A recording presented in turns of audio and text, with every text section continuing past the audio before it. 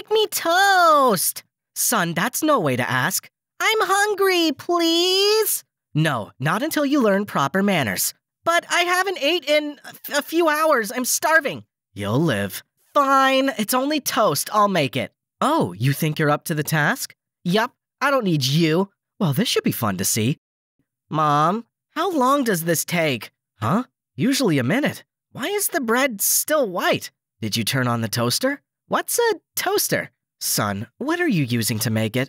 Sorry, Mom, please make it for me. Why are you using a radiator? Use the toaster, God damn it! I can't even reach the toaster. Fine, I'll make it. Woo! Thanks, Mom!